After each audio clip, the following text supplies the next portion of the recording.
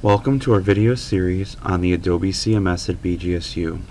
This video will introduce you to the system and show you the basic navigation. Before we start, the system works best if you're using Firefox or Safari. If you're on a Windows machine and do not have Firefox, please contact the Technology Support Center and have them assist you in installing it. The Technology Support Center's contact information is on their website at www.bgsu.edu slash TSC. Once you are using either Firefox or Safari, go ahead and open the Adobe CMS page and log in. If you do not already have a link for the site, follow the link below. The first view you will see will display a list of all the websites you have access to along the left-hand side. One unique part of the Adobe CMS is that pages, and not just folders, may contain other pages. All pages have a globe-shaped icon just to the left of their name. A page that has other pages inside of it is called a parent page and will have a small plus or minus icon just to its left. Clicking on this icon will either expand or collapse the list of pages the parent contains.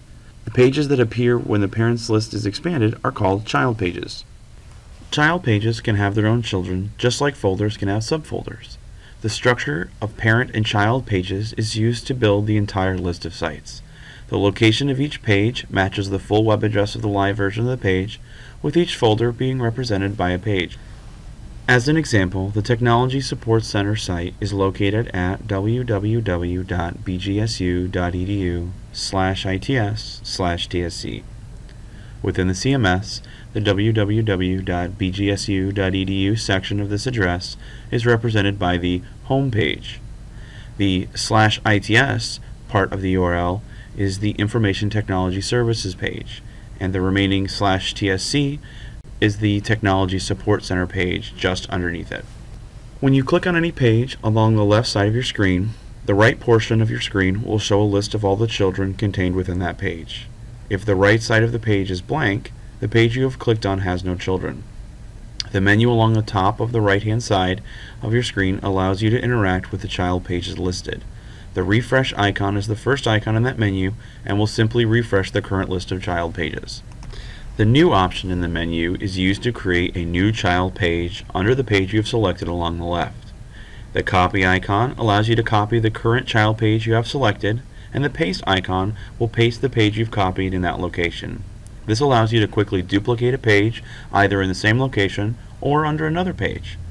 The delete button allows you to delete the child page you have selected. The Move button opens a new window that has several functions. First, you can move the currently selected page to another area of the CMS by using the Browse button next to the To field. Second, you can change the page's name. We will discuss later that pages have both titles and names, but just for now, know that the menu allows you to change the name of a page.